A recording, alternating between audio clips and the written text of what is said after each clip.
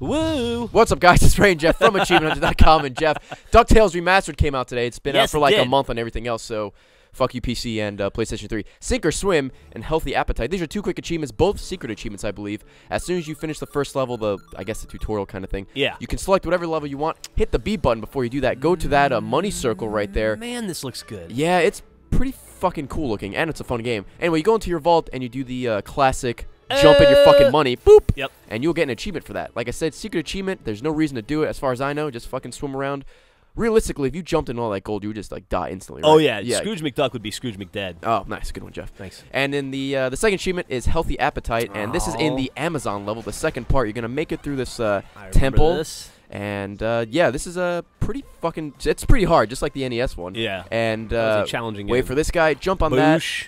And it brings you to like a secret area. there it is on the map. They have a map, Castlevania style, Symphony of the Night. If you did miss that guy, you saw a chest appear as well, so you can bounce on that chest as well. Fucking break these things, get some gems, why not?